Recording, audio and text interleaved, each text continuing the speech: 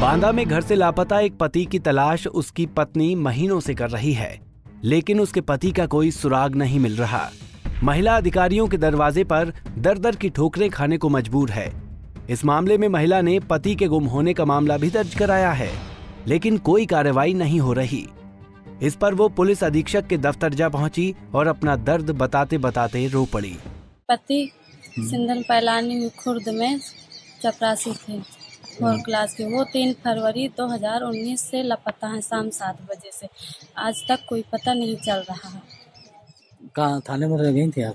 नहीं थाने में गुमशुद्धी भी दिया पाँच तारीख को। हम्म। पाँच तारीख दिए गए कुछ नाम जद्दी भी दिया गया लेकिन आज भी हमारी कोई सुनाई नहीं हो रही। वहीं पुलिस अधीक्षक ने पीड़िता की शिकायत सुनने के बाद उचित कार्रवाई के निर्देश दिए हैं।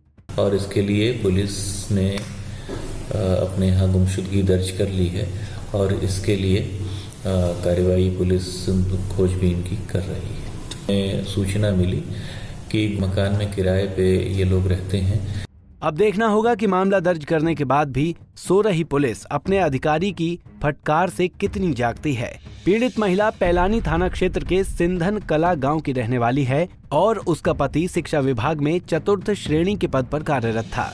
बांदा से ज़फ़र अहमद, पंजाब केसरी टीवी।